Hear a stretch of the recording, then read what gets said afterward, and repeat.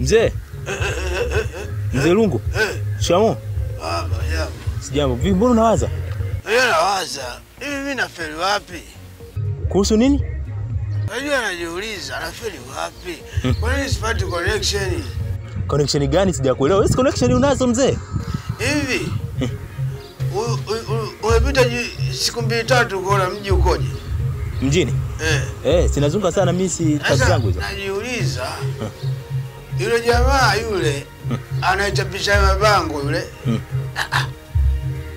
anafanya mwenyewe au kwa msaada? Sijakuelewa bado. Ah, ah, leo mimi kipindi cha uchaguzi nimetoa bango sijui hamsini tu, Mm. biashara ikakata Ukafilisika. Ukafilisika. Sasa nimeshangaa, juzi nimeamka mpaka chooni kwangu, sijui alivyofika fika fikaje, kabandika eh, eh. Nikasema huyu nikiacha mlango wazi taingia mpaka sebuleni, kia Mungu nakwambia. Lakini sasa namtafuta Mm. Nasema ah, maana oh, sijui kama ndika huku kama ndika kule Mm.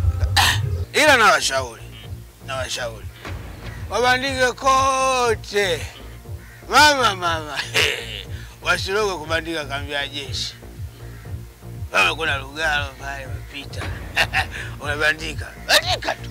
Eh, ukibandika pale ah, kwa sababu wewe kigezo si neno la Mungu au si eh, eh, mzee bandika nini? Au dogo bandika nini? Nibandika Mungu sijui. Ah, tuna maombezi Ambia ah, okay sasa.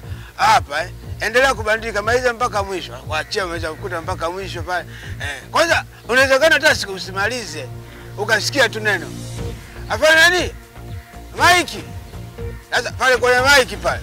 Wanaitana Mike wale neno lao moja tu Mike, ukisikia Mike ujue ondoka. Mike. wanakwambia eh, mzee wetu baba bandika matangazo. Ah, bandika matangazo. Mwache basi amalize. Utaona kaa nguvu ya kumaliza kubandika matangazo utakuwa nayo.